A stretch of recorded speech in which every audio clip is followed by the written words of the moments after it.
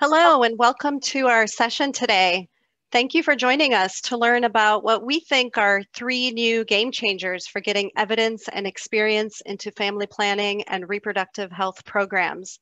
My name is Ruwaida Salem and I'm with the Knowledge Success Project, which is a USAID funded project that is led by the Johns Hopkins Center for Communication Programs with a consortium of partners, including Amref Health Africa, the Busara Center for Behavioral Economics, and FHI 360.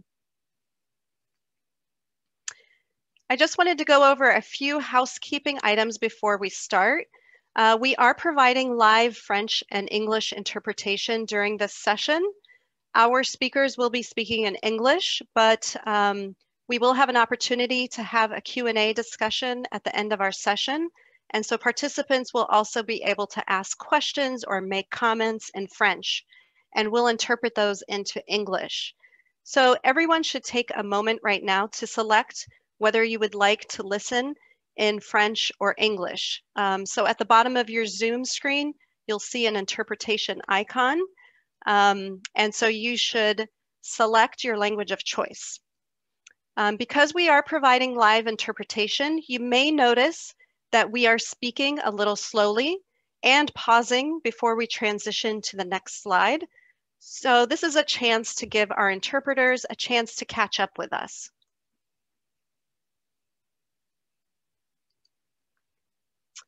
Uh, we also would like to let you know that we're going to drop a link to a Google Doc in the chat. So if you'd like to receive updates from the Knowledge Success Project, please feel free to add your name and email address to the Google Doc um, and we'll uh, sign you up for our distribution list. So now I'd like to take a moment to introduce our panel of speakers. Again, my name is Ruwaida Salem. I'm with the Johns Hopkins uh, Center for Communication Programs. Um, I'm joined today with several of my college, colleagues from the Knowledge Success Project, including Elizabeth Tully, Sophie Weiner, and Lisa Mwaikambo. Together, we've been working on designing, developing, and launching three new innovations to help family planning professionals find, share, and use information in their work.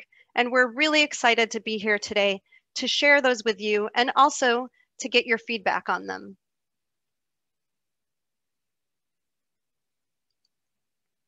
So here's the plan for our session today. I'll start with um, a brief overview about knowledge management or KM, just to make sure that we're all starting from the same point. And then I'll provide an overview of what we learned from family planning professionals themselves about the key barriers and opportunities for speeding adoption of evidence and best practices in their programs. I'll then ask my colleagues to provide an overview of the three knowledge solutions that will address those barriers and opportunities. Now, we, we did have at one point um, had said that we would do breakout rooms, but since the number of participants are um, a little bit low, we actually will have the opportunity to have you listen to all three new um, knowledge innovations. So we won't have breakout rooms. We'll stay here in the main session. And then at the end of our session, we'll have time for everyone to have an open discussion and answer any questions that you might have.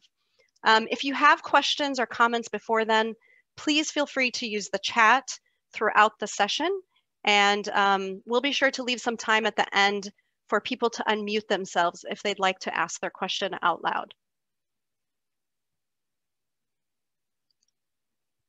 So let's get started. Um, what is knowledge management?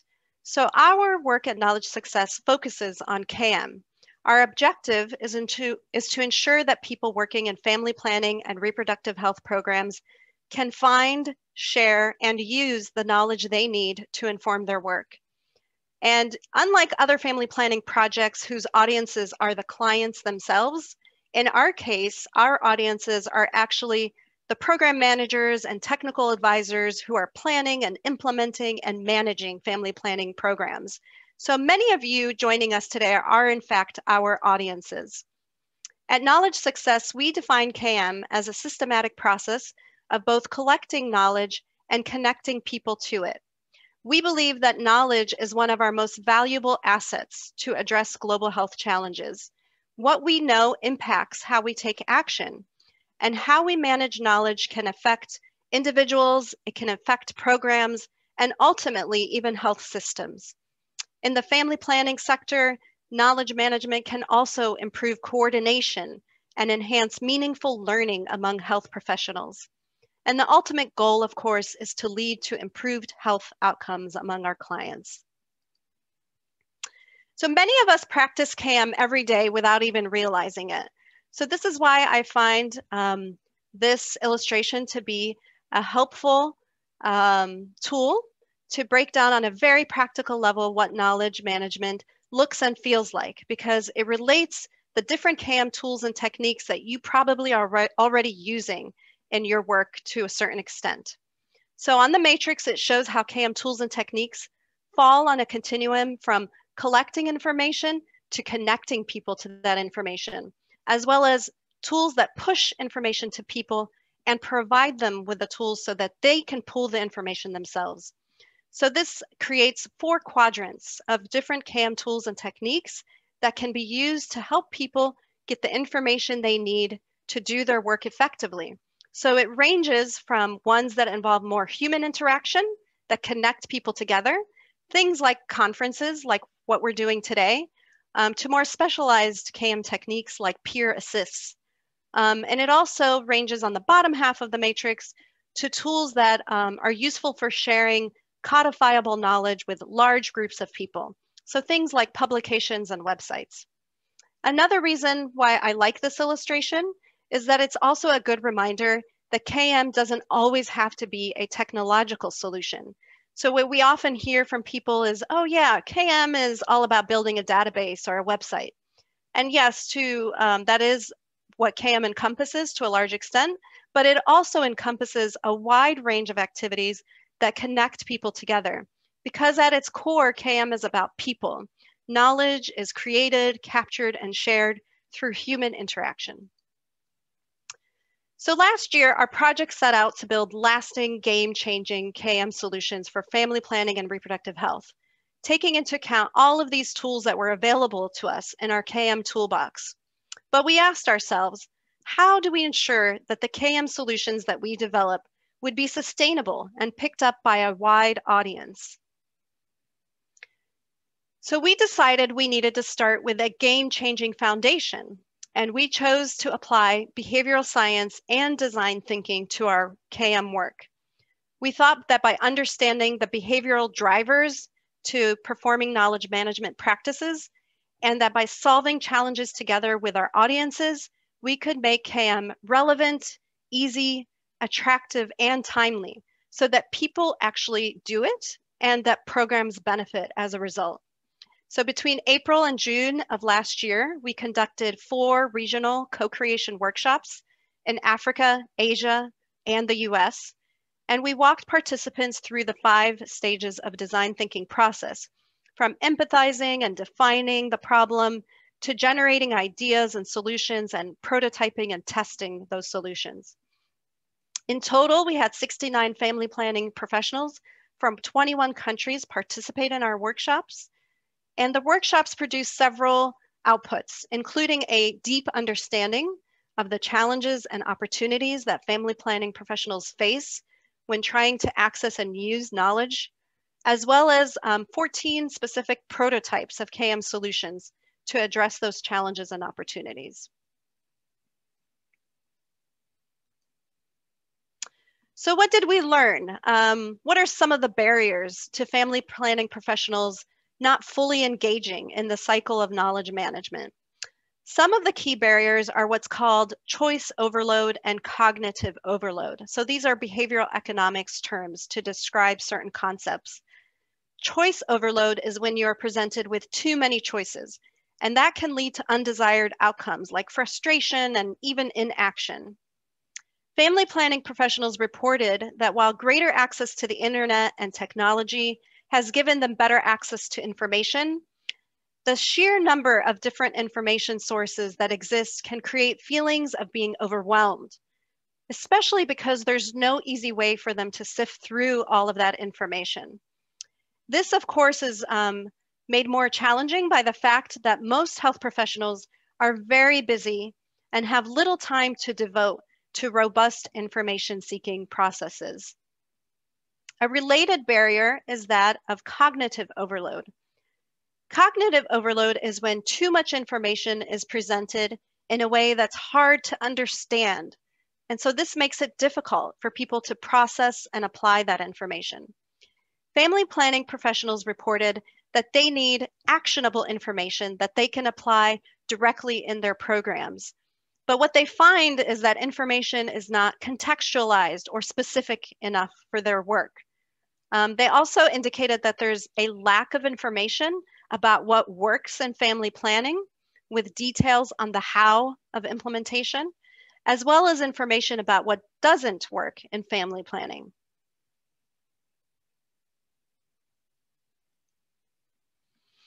So it's not all bad news. There are some silver linings that we would like to point out. Um, one set of opportunities that the family planning professionals in our workshops identified fall into the category of organizational or social norms around information sharing.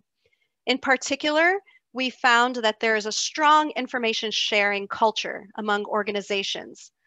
Um, Family planning professionals specifically called out the importance of collaborations and partnerships to facilitate transparent and timely dialogue.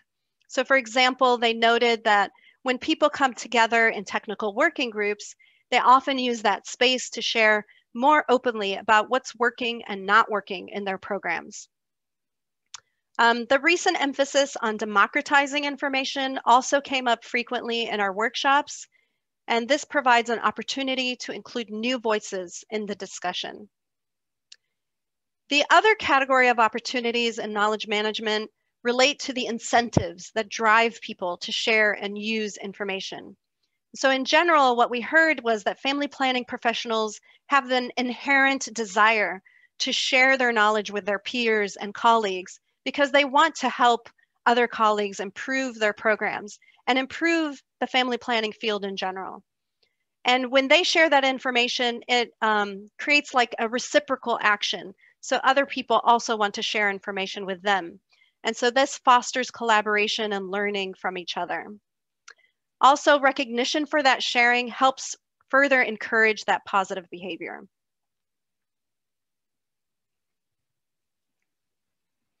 So with these barriers and opportunities in mind, what kinds of KM solutions can we start to envision? The ultimate goal in KM is to bridge the knowledge to action gap and strengthen the use of information to improve family planning programs.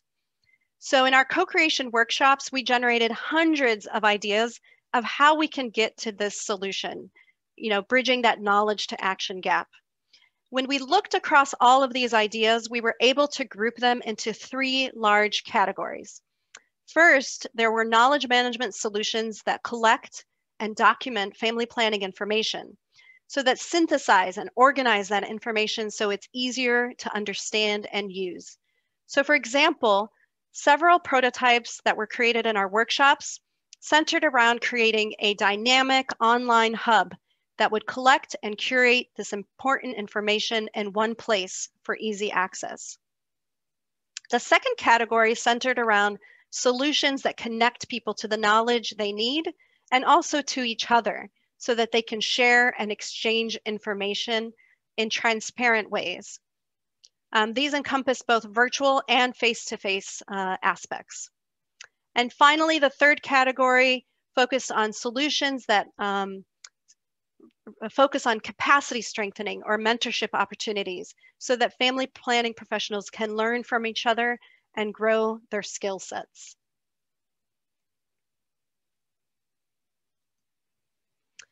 So from these workshops, um, the Knowledge Success Project synthesized all of the insights and we continued to iterate on the prototypes and solutions that were developed.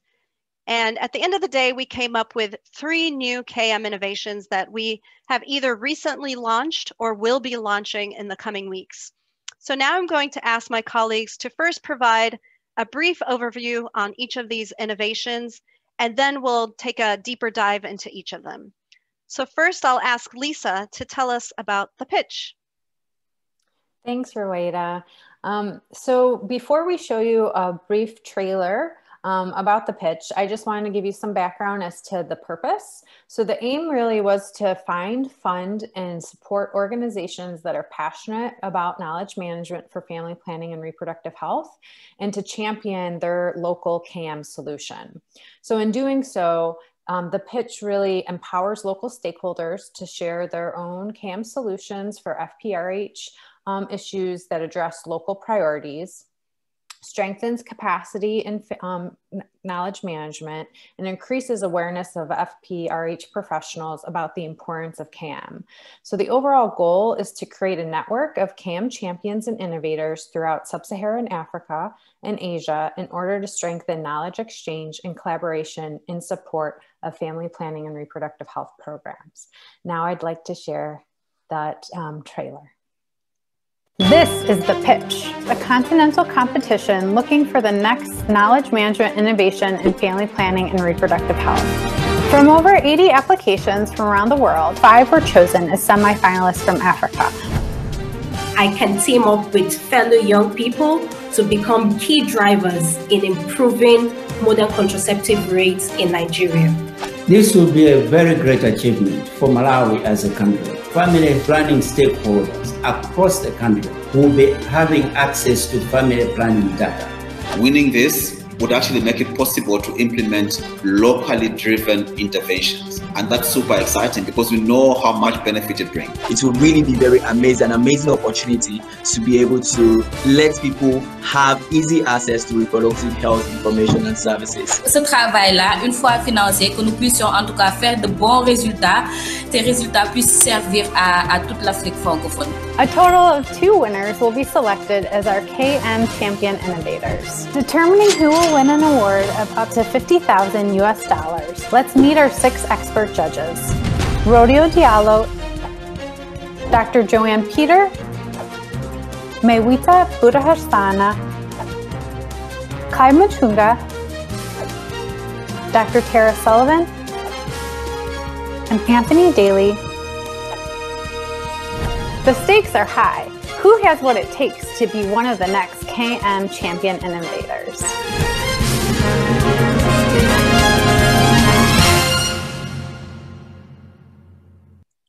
Thank you, Ruwaida. So during our deep dive, we'll share more about um, the pitch competition, some of the exciting, unique aspects of it, as well as some of our lessons learned from um, hosting it, um, basically from January until um, the end of March and where we're at right now.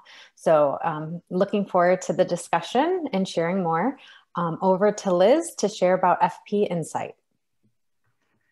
Thanks, Lisa. And I say you're ready for prime time. That was such an exciting video. Um, so participants across all of the co-creation workshops expressed a desire for an online hub, somewhere to find relevant resources, save those resources, and then easily come back to them at any time.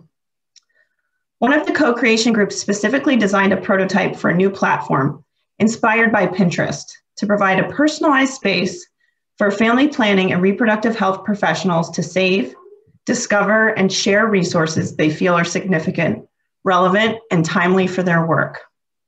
From this idea, we developed the first resource discovery and curation tool. No, no, did you, no, no. Did you read my lunch already? The joys of working from home. you could just I apologized for that. Um, no problem, Liz. So it's the first resource discovery and curation tool built by and for family planning and reproductive health professionals. And that's what we're calling FP Insight. It serves as the one place for all your favorite resources related to family planning and reproductive health. It provides a personalized, personalized news feed on collections and posts related to your particular interests, it includes a browser button to save posts even faster as you find relevant resources online. And it allows for offline saving and viewing um, when you don't have access to internet. So with that, Ruwaida, if you could play our FP Insight introductory video. Sure.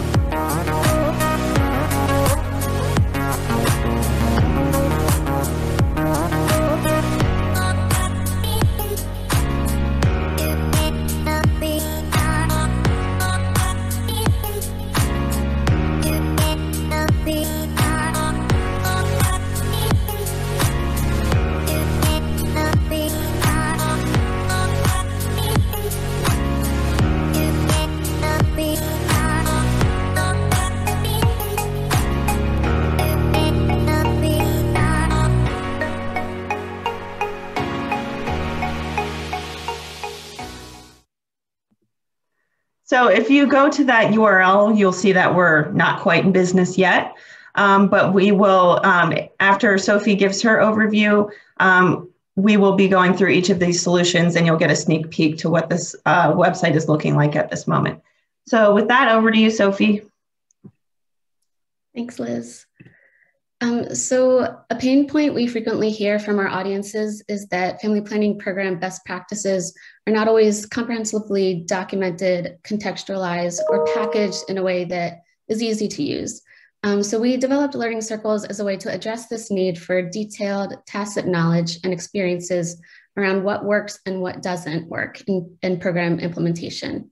So our goal with learning circles is to create spaces for people to share and receive detailed learnings in a, in a context that's appropriate for their work and programs. Um, we want to provide participants with the tools and skills to then actually go and apply those new learnings around family planning um, programming we want to improve uh, family planning pr programs in a fun and, and meaningful way um, by modeling um, interactive and effective knowledge management practices. And ultimately, we hope to foster among FPRH professionals really um, immediate solutions that they need to solve urgent issues in their programs. So applications for our first regional cohort, which is for English speaking um, professionals based in sub-Saharan Africa have just closed and we received over 200 applications to participate, which um, proves this, um, there's a high demand for this sort of experience. Um, so this cohort will take place from May to July of this year. And the topic that participants will be exploring is family planning in the context of COVID-19. Um, so now let's watch um, a short video to get more of an overview of learning circles.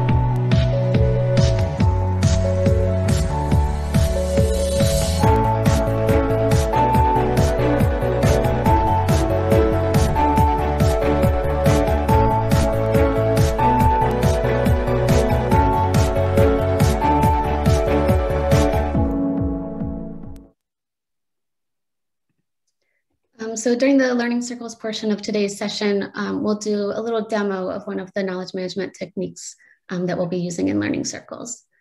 Um, and now I'll pass it back to Ruwaida. Great, thanks Sophie. So we'll do, um, like I said earlier, we were planning on doing breakout rooms since we're a relatively small group, we're gonna stay in the main room and we'll just all learn together a little bit more details about each of the solutions. So we'll start first with um, Lisa and the pitch. Thanks, Ruwaida. Um, if you don't mind moving to the next slide.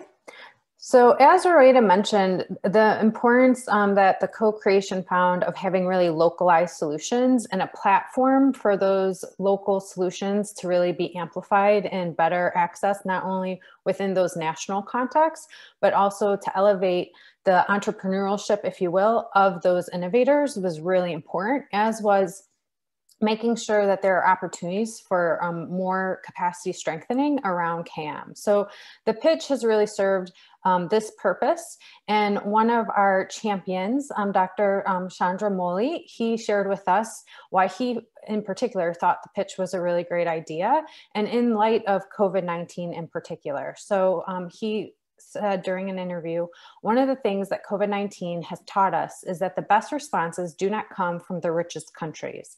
The best experiences came from unlikely heroes of public health from Vietnam, Uruguay, or South Africa. A competition like this, which pays attention to and respects learning from the ground, really excites me. And I think that really is the way to go. So with this kind of excitement and momentum behind this innovation, we also found um, that there was a lot of excitement um, for this, and we'll share more as the video did um, a, a bit about those 80 applicants. So next slide. But before we do that, we just wanted to kind of explain how the actual um, competition worked. So we had a launch event where we um, um, announced the call for applications, really went over the guidelines, answered any questions the applicants would have, talked about what the eligibility criteria was and whatnot. Then the next step really was reviewing those applications against an established rubric to identify five semi-finalists from sub-Saharan Africa and then also Asia, respectively, to invite them to make a pitch. So those um, invited 10 in total um, received training and guidance on how to make and prepare a five minute pitch to an esteemed um, panel of colleagues or judges and colleagues within the family planning reproductive health space, but really represent the donor community for the most part. Then we recorded, pre-recorded the five minute pitches with each um, semi-finalist. And we held um, kind of a coaching session with the judges to go over what the plans were for the actual competition meetings, um, what the scorecards would be for them, as well as provided um, a brief uh, training on overcoming implicit bias and um, kind of how they should keep their mind open to the pitch ideas that were coming from the different um, semifinalists.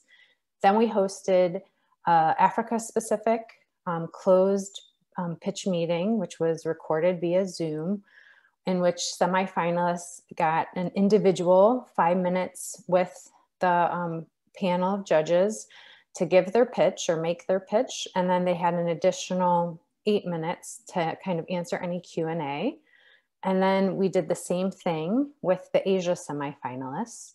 And at the end of kind of both of those um, meetings, the semifinalists all left after they made their respective pitch. Our judges deliberated and decided on the two selected winners. Um, as you saw in the trailer, we've developed um, basically TV-like episodes of the pitch. Um, one of the shows that um, inspired us was Shark Tank, or as you can think of, there's a lot of baking competition shows. So we were trying to get that um, feel um, from this uh, innovation. And our plan is to announce the winners um, via YouTube watch parties later in May. And we welcome you all to attend that and kind of learn with the semifinalists as to who the winners are for their um, sub awards of up to $50,000. And then um, each of the winners will have a five month period to implement. And at that time, they'll be receiving kind of ongoing support, coaching support from um, Knowledge Success related to um, knowledge management capacity building. Next slide.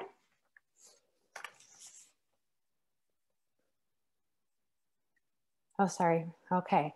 So um, in case you're wondering, um, in terms of eligibility, we were really looking at organizations, so not individuals, but organizations um, that are located in USAID family planning and reproductive health priority countries in um, Africa and Asia. Um, we gave priority to national and local organizations, but also um, international organizations could apply as long as they were legally registered and showed proof of registration um, in country and had a registered um, local bank account. Um, of course, all organizations um, had to adhere by the um, United States government's family planning and development policies, and they had to propose a very clear um, KM solution to a KM challenge um, that is faced in their respective FPRH communities. Next slide. So as the trailer showed, um, we had 80 applicants and this just shows the breakdown between um, the Africa versus Asia. So we had really good representation across the USAID priority countries. Um, and we, even though we provided the criteria um, up front, we did receive applicants from beyond um, kind of the USAID priority countries as well um, in terms of interest. And then um, from those applications, we were able to come to a consensus um, after a first round of review that was done internally by Knowledge Success uh, staff, but representing different functions and portfolios of the um, of the project to identify the five um, from each Africa and Asia to be invited to make their pitch. Next slide. So um, this is the list of the semifinalists that were invited we had a pretty good range of um, geographic distribution within um, sub-Saharan Africa as well as Asia. And you can find the full um, kind of summary write-ups or blurbs about each of their um, solutions on the knowledgesuccess.org website if you go to the URL on the screen. But just one kind of cool fact to note is that at least five of the organizations that um, were invited as semifinalists represent youth-led organizations, while um, just three um, represent kind of the independent registered offices of um, international NGOs. So we were really excited to see that distribution and really that we had local and national organizational representation. Next slide.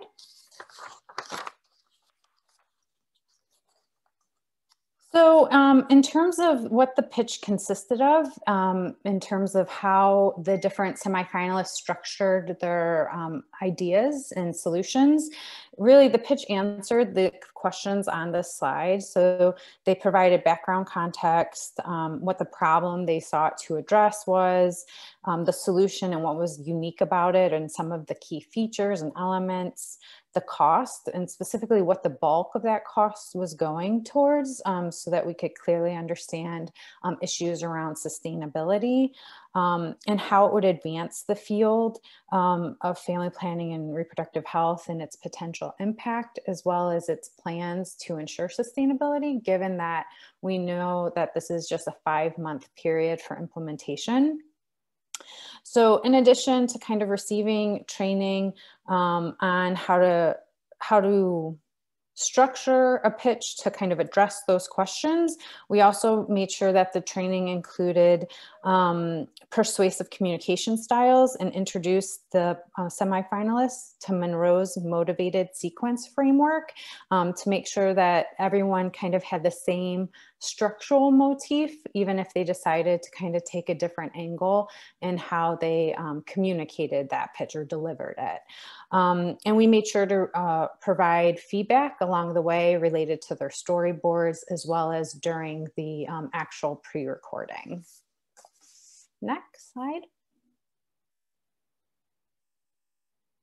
So as the trailer um, introduced our judges, I won't go into great detail, um, but essentially um, our judges were selected so that they represented really the um, geographies in which we sought solutions um, also gave range to a variety of different donors, even though Knowledge Success is funded by USAID.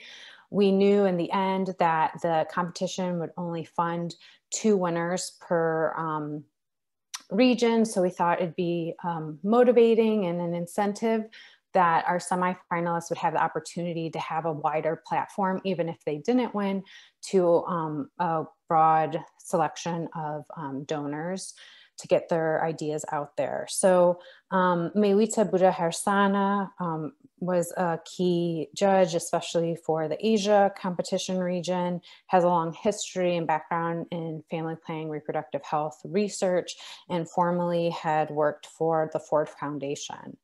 Um, both Rodio Diallo and Anthony Daly represent Bill and Melinda Gates Foundation, um, Rodio based in the Nigeria office and Anthony based in the India office, and they both oversee um, aspects of the family health portfolios there. Clive Mutunga um, is a great um, KM champion and family planning champion representing the PHE portfolio um, at USAID headquarters um, Joanne Peter. She's um, part of jo Johnson & Johnson's Global Community Impact, um, kind of like a social corporate responsibility arm, um, and has a great um, interest specifically in digital health solutions. And then our very own project director, Tara Sullivan. Next slide. So the judges, um, as I mentioned, we had a pre-pitch um, meeting with the judges to really talk about um, scoring and how that would go. We tried to make it as simple as possible. As you can imagine, the time for these competition meetings was quite tight. Um, so with each um, semifinalist getting about 13 minutes to um, speak or five minutes for their pitch, eight minutes for Q&A. Um, we really had to do the scoring as the the pitches were being delivered. The judges were given all of the um, pitch storyboards, if you will, or scripts in advance in case they wanted to review those and take notes to come prepared, which all of our judges did, which was wonderful. Um, and then the, the scorecard was really set up in a Google spreadsheet that looked at solutions fit to need. Um, we looked at feasibility and then potential for um, sustainability. Um, each of those categories basically had um, a note section where they can note and document kind of the pros and cons to inform their scores. And then they use the point system um, illustrated on the slide. So I'll quickly kind of explain what kind of encompassed these um, categories. So in terms of solution fits need, we looked at, you know, does the solution clearly address an FPRH challenge? Does it fit the challenge described? And what is the added innovation if this is an older existing idea? Um, and as I mentioned, the uh, judges all had an opportunity to kind of further deep dive um, around those questions if they didn't feel like the pre-recorded pitch um, provided enough clarity um, in regards to these questions.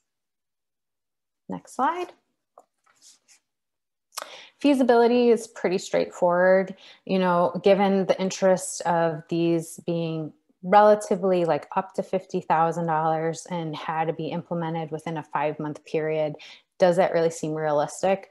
And I think having um, a panel of judges who represented the donor community as well as um, previous experience in implementation, they had a very critical eye um, related to that um, category. And then potential for sustainability. Again, I think the judges came from a really good point of view um, related to that and having um, a lot of in-country experience and knowledge as to the context and therefore sometimes the um, complications um, bureaucracies in place that needed to be considered. Um, they were able to kind of further uh, dive into questions around partnerships and um, relationships with MOH um, um, to really strike at um, potential for sustainability. Next slide. So what did we learn? So um, we learned that there's a ton of interest in competitions like this, that um, we gave about a four week window for the calls for applications, and we did receive, as I mentioned, 80. So that was really great to see. And people are very much interested in knowledge management and improving. Um, connecting to knowledge and information, sharing knowledge and information, getting um, information in the hands to people that need it the most. Um, but as Ruwaida mentioned up front, um, some knowledge management um, professionals, their key end user audience is um, family planning clients. In um, knowledge success, that's not really the case.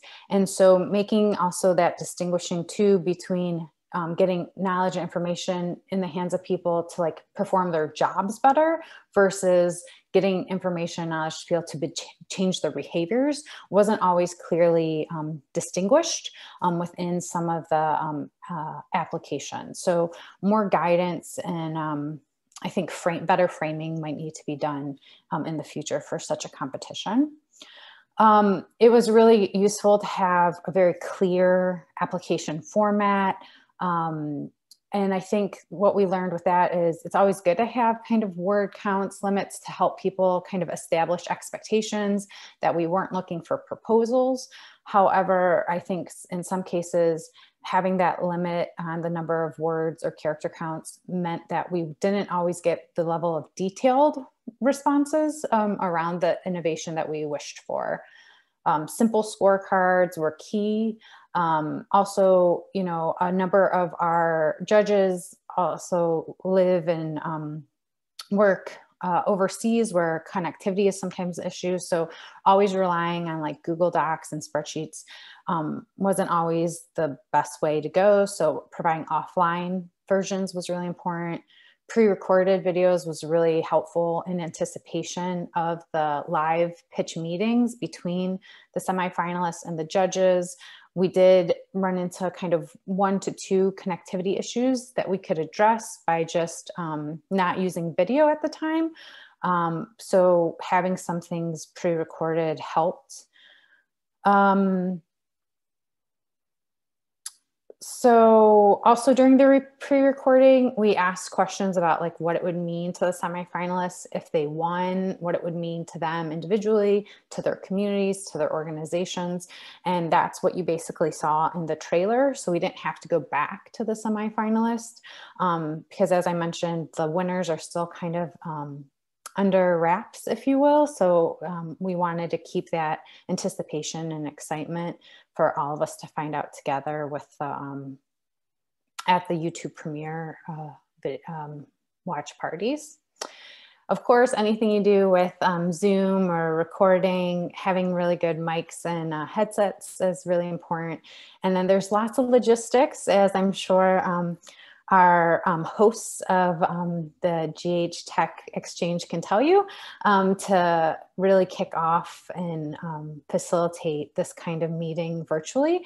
But it was really, everything was practiced kind of well in advance and um, we lucked out, I suppose, but it worked out really well. So um, if you can go to the next slide, it's really to just remind you to kind of visit Knowledge Success website. Um, you can sign up um, on that um, URL link to get future uh, announcement for when our specific dates are for our YouTube um, premiere episodes where we'll be announcing um, the semifinalists.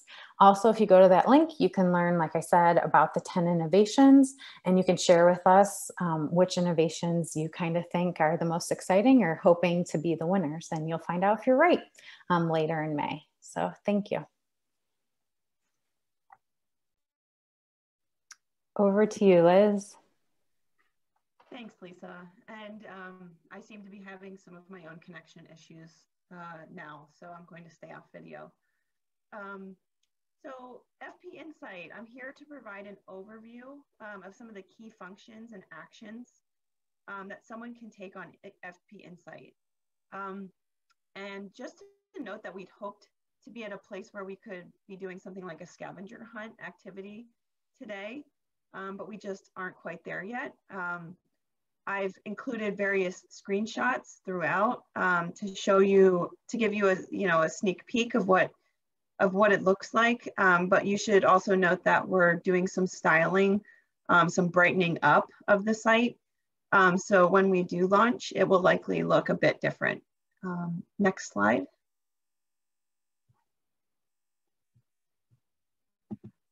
Oh, I hid those slides. I was going to do an icebreaker if we were.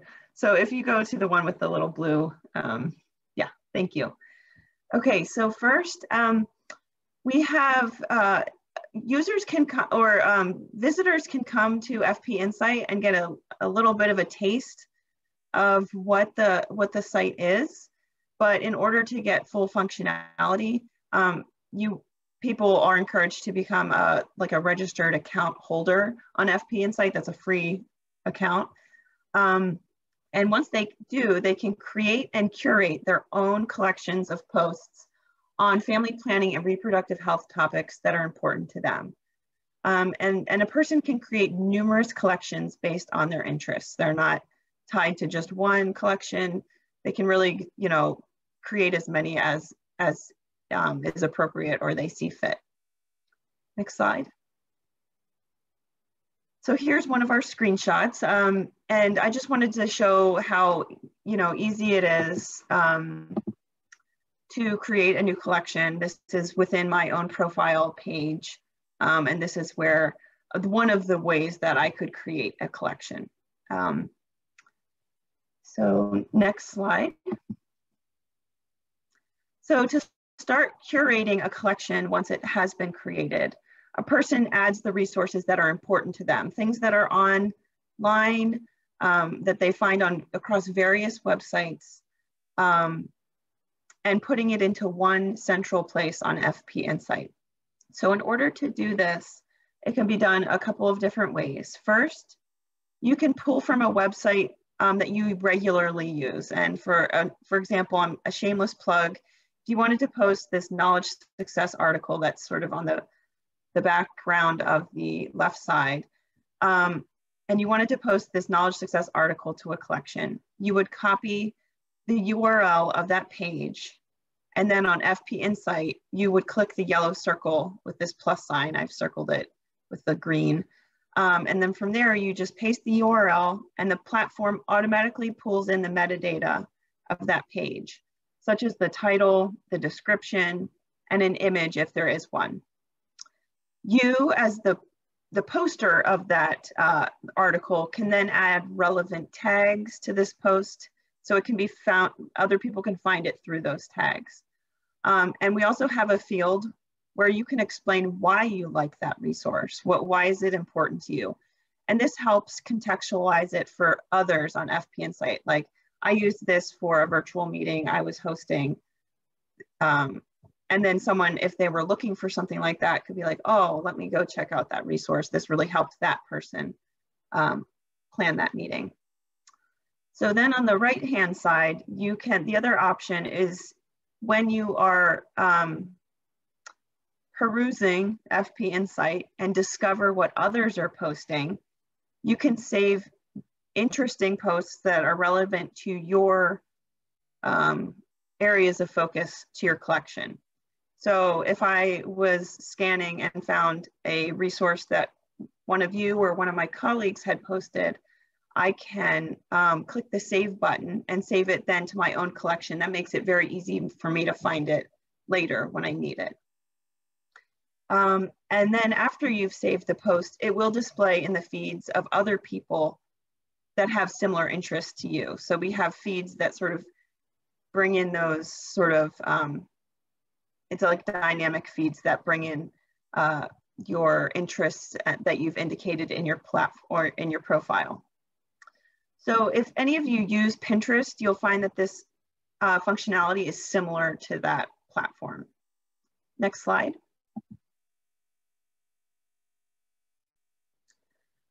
Another key function on the site, as I mentioned, are the feeds. Um, so each person will have three, a trending feed, a following feed, and a for you feed.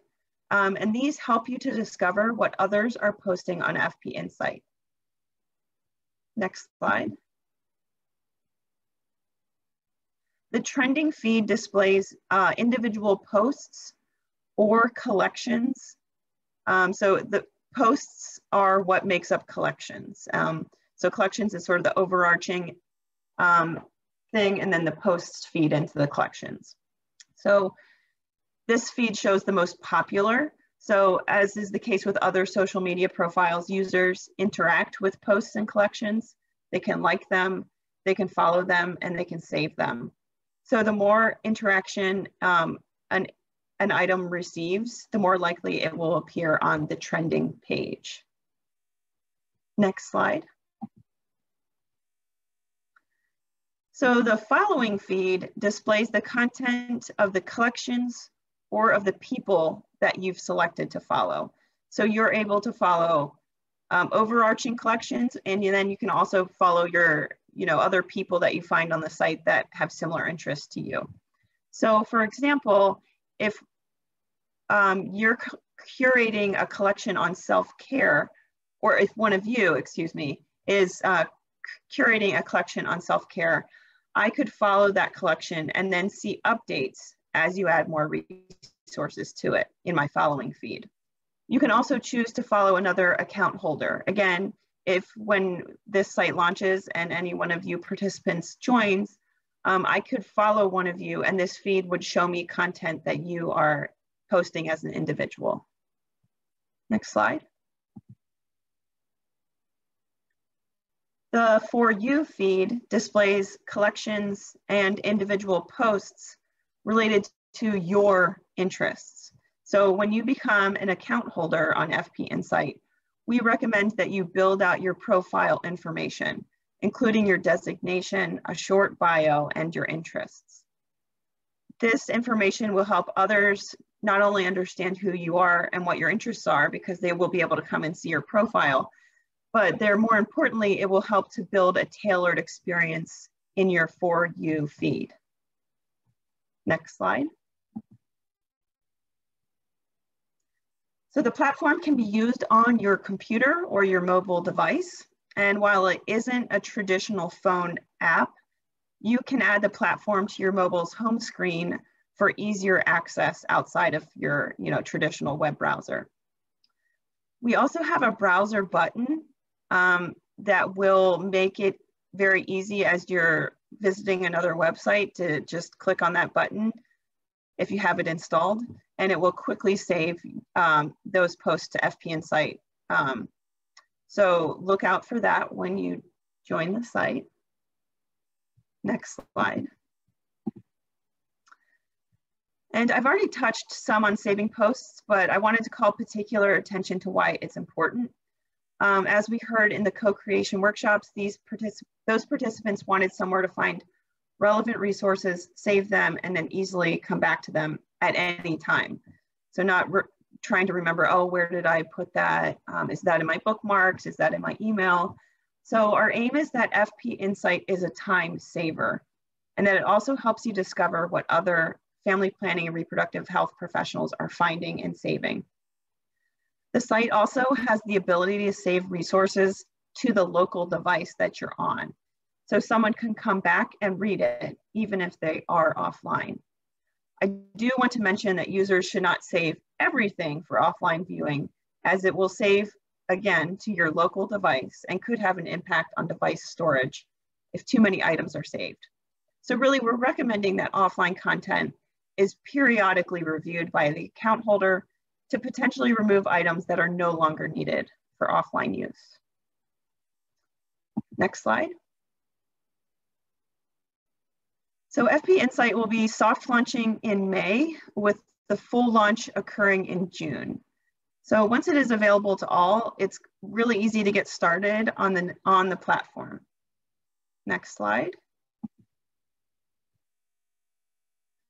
While FP Insight visitors do not need an account holder or need an account in order to view some of the activity on the site, they will need one in order to perform most functions such as developing collections, or, or really all functions, such as developing collections, posting resources, getting those customized feeds, and interacting with other people's posts in the form of liking and saving. Next slide.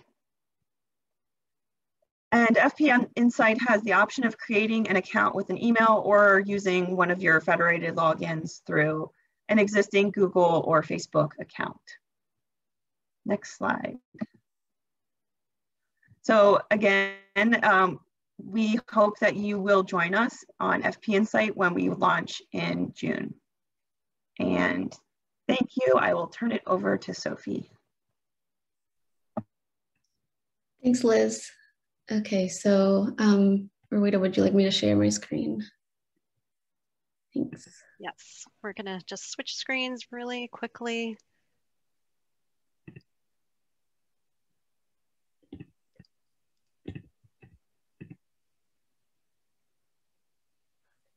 Okay, so um, in this part of the session, we'll be demoing a knowledge management technique called 15% solutions, um, which is an example of the type of exercise um, that is used in learning circles. And just a little disclaimer, since the conditions and timing of the session are a little different from the context of a learning circle session, it won't be exactly the same experience, but this will give you a good uh, sense of what it's like. Um, so what's great about 15% solutions is that when dealing with a really big challenge, this activity gets individuals and a group or team um, to really hone in on what is practically within their discretion instead of getting so overwhelmed by what they cannot control or change. Um, it encourages you to think about uh, just that 15% of the problem that is within your reach and you can address. Um, you can see where you have freedom to act and you can think about what you can do without any additional resources or more authority. Um, so here's how it works. Um, first, we'll take a quick poll to see what challenges, which challenge you as a group would like to tackle today. Um, then you'll take some time on your own to reflect on the challenge and brainstorm uh, your 15% ideas in a shared uh, Google slide deck, um, which we'll be sharing with you uh, the link to. Um, next will be the consultation time. Um, one person will present their favorite idea of all the ideas that they came up with. Um, and, and then the rest of the group will ask some clarifying questions, um, provide any extra advice uh, that person may want to consider. And then normally with this activity, each person would have a, uh, their own consultation time on their idea, but um, we'll see how much time we have. Um, and last, we'll end with some next steps towards implementing your ideas. Okay, so now let's vote on today's challenge. Um, we can either talk about one, how can you ensure efficient coordination between global health stakeholders? Two, how can you effectively integrate new knowledge management techniques into your work team? Um, three, how can we expand integration of family planning and reproductive health into other development programs. So take a couple seconds to think about your favorite choice and then please vote by typing the number of your choice, so one, two, or three in the chat. And we'll just do a quick count.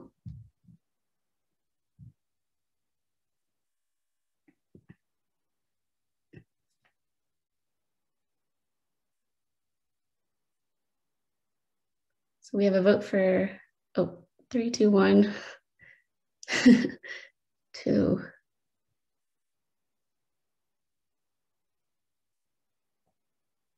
Would anyone else like to cast their vote? Okay, so it looks like we'll go with number two. How can you effectively integrate new knowledge management techniques into your work team? Um,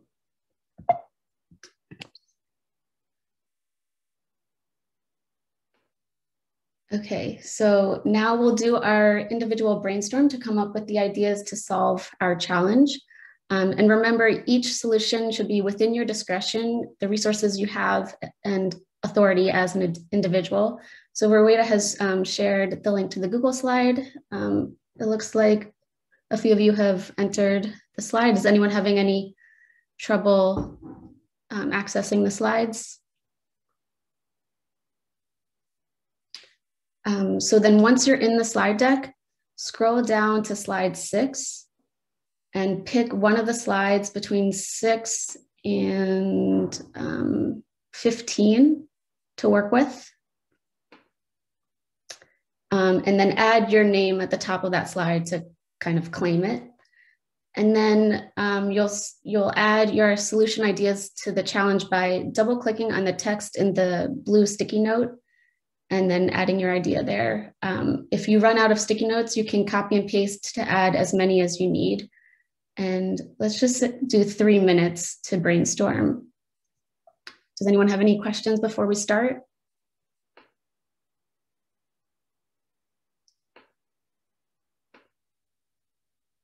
I see Seb has claimed a slide. And Will, Tara.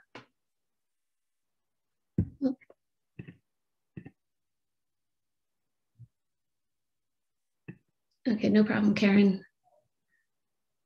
Okay, so I'll start the timer now. You have three minutes to add your ideas. And start.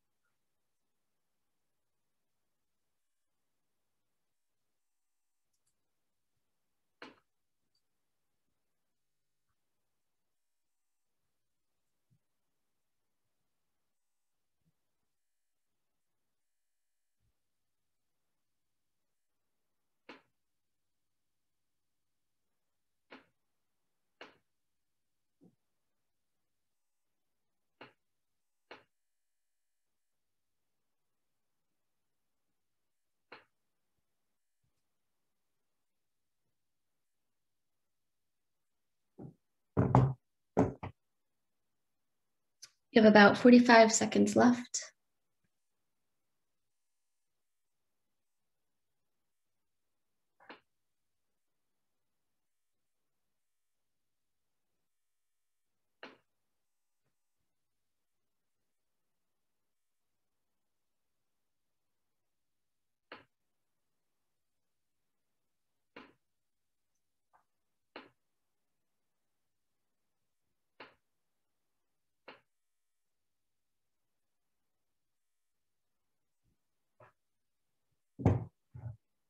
Ten more seconds.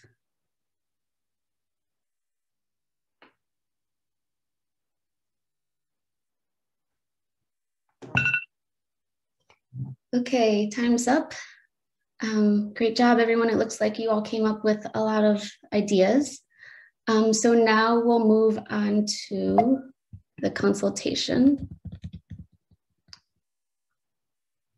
Um, so the consultation part, um, you'll have a chance to ask each other clarifying questions about your ideas and offer any advice you may have. Um, and if Ruwaida could please take notes in the consultation slides. Um, so in the slide deck, starting at, let's see, slide 14, um, you'll pick a slide um, and then you'll pick your just one idea of all the ideas that you came up with um, and either retype that idea or copy and paste it um, into your consultation slide where it says paste your idea here. And then once everyone has added their um, one favorite idea to their consultation slide, I'll ask for a volunteer to um, share that idea with the group. Then the group will provide their consultation by asking any additional clarifying questions about the solution and offering their advice.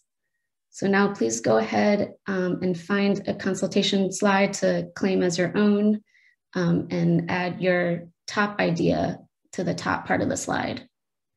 Does anyone have any questions? Does that make sense? I see Lisa has found a slide. Good job. Seb.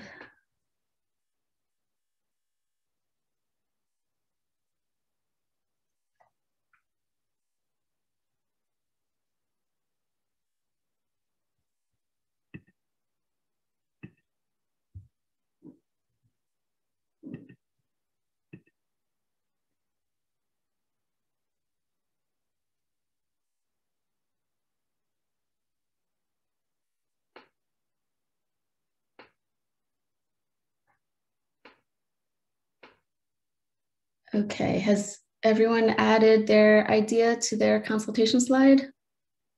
Does anyone need more time?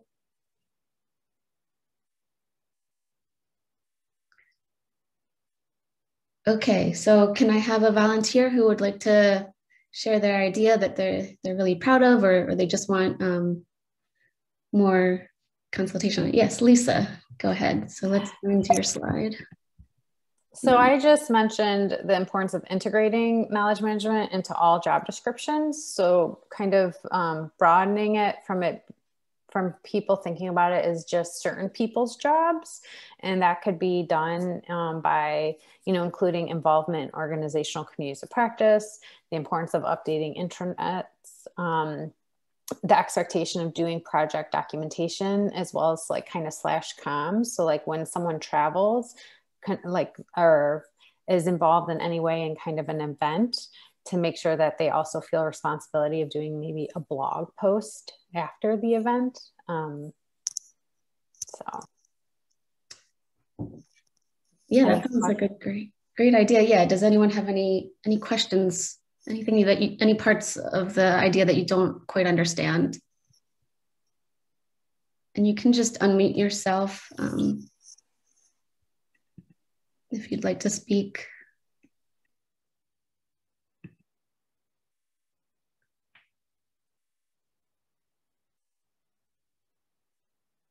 If there's no questions, I guess, Lisa, you did a really good job explaining. Um, does anyone have any advice, any other things that you might want to, that Lisa might want to think about um, with this idea? Are there any aspects that um, she just might want to consider?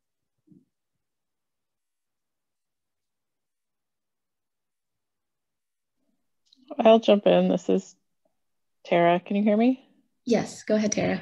Um, I just wanted to say maybe one thing to think about is how to tie the fact that it's in your job descriptions perhaps to performance review. So it makes a link between what is expected, but also what's being measured, I guess, to a certain degree in terms of um, staff performance.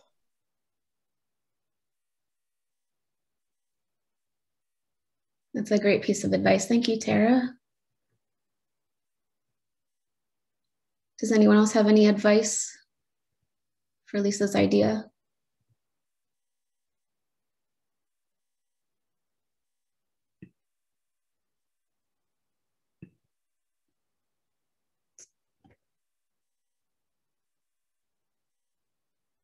Okay, um, I think we can maybe move on to just one more consultation if, if someone else would like to share their idea.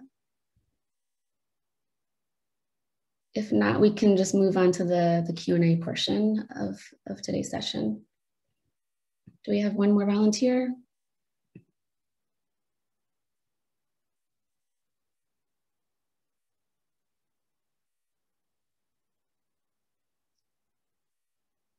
I can go if no one else wants to. Okay, let's find your slide. So mine's on slide 16. And I said, um, we could hold skill sessions or like mini workshops um, on how to implement new KM techniques. So I think sometimes we kind of get in a rut and we do the same old, same old because it's comfortable, it's what we're familiar with. Um, but if we demonstrate a new KM technique and show people how to use it, then it might open their eyes to something new. Um, it might give them a little more confidence that they, they could do the technique as well. Um, and, you know, maybe generate some ideas of, of when they might use that, that new KM technique. Yeah, that's a great idea. Does anyone have any questions?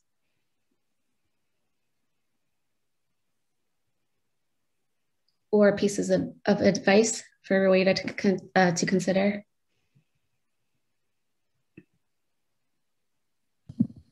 I have a, I have a Oh, I'm sorry. Go ahead, Tara. No, you go ahead, Will. Thank you. Um, I think maybe like from my perspective, I'd have to think through like how often you would hold these sessions. Like you'd want to create some momentum, but um, you don't want to hold them too frequently because it might bog people down. Um, I think this goes back to a question that was. I, I know at CCP we often do these kinds of skill shots, um, and they're really kind of short, like maybe I want to say 30 or 45 minutes, so it's not so um, burdensome on people. I think those tend to be pretty popular among our own organization. Great. Will, did you have something you wanted to share? I just have a, a really quick question, and I think it goes back to something that was asked on the previous slide. Um, but I was wondering about implementation and measuring that. I know that at my current organization, um, you know, we have a, a, lot of workshops and talking about uh, new ideas uh, to reach audiences, but it kind of quickly falls into uh, old routines or just saying that we're doing it. And so I was just wondering if there had been a, a success story for how you know it was implemented and taken hold by staff. And wasn't just words.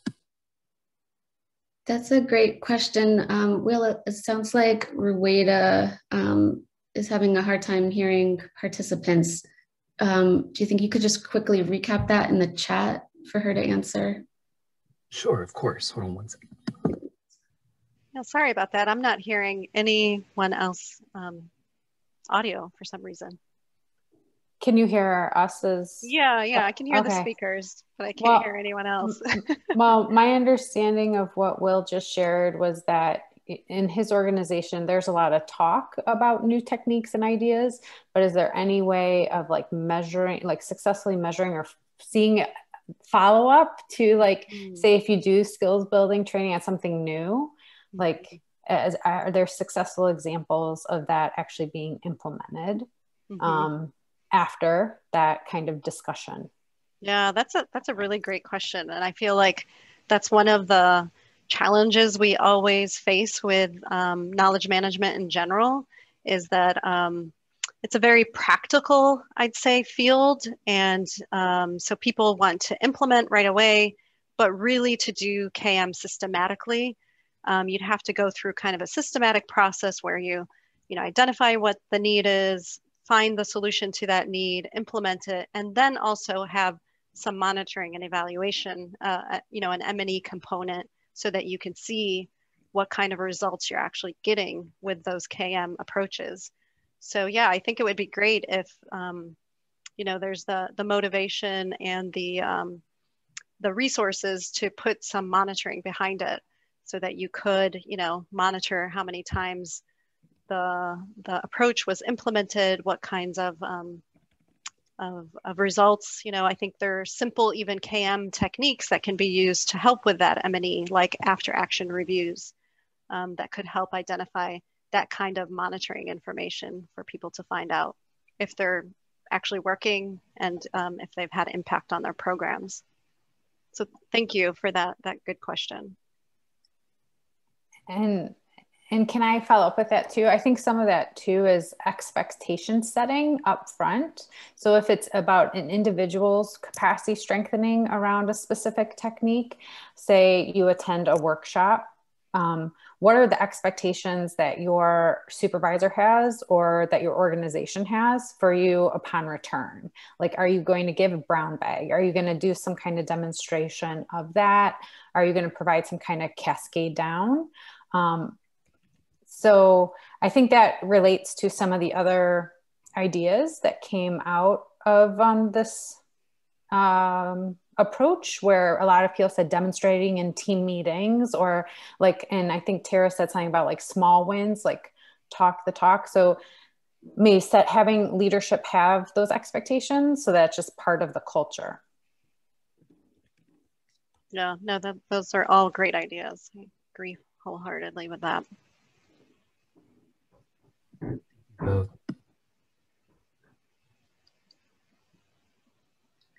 Does anyone else have any um, questions or advice for, for Ruwaida?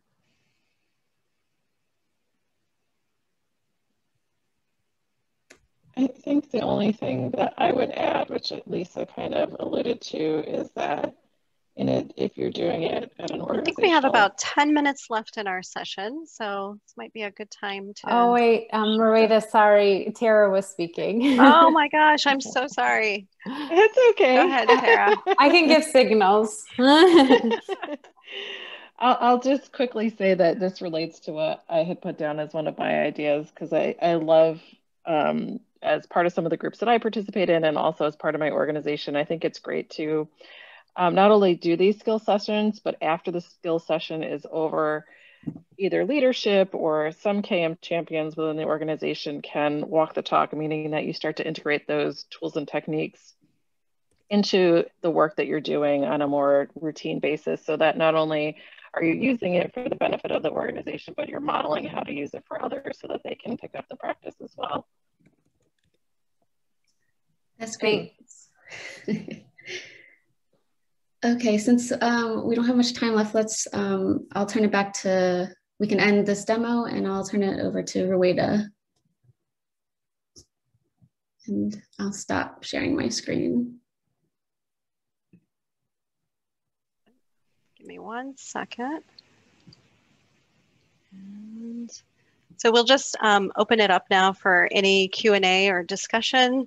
Um, if you, you know, have a question, feel free to unmute yourself. I can actually hear you now. I, I figured out I had an issue and I fixed it. Um, so feel free to unmute yourself, ask a question about any of the knowledge management solutions that we've talked about today, um, or, or if, um, going back to the earlier part of our presentation about the co-creation workshop insights, you know, around the KM challenges and barriers um, that family planning professionals experience. We'd love to hear from you what kinds of, um, you know, uh, approaches you use to address any of those uh, barriers like the choice overload, the cognitive overload. How do you address those in your programs? Um, and have you seen other KM solutions that um, address them in, in innovative ways?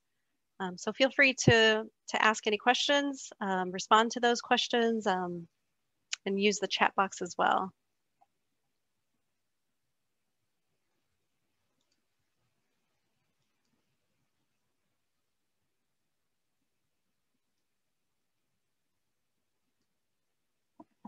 So I'll give just a few more seconds in case anyone has a question.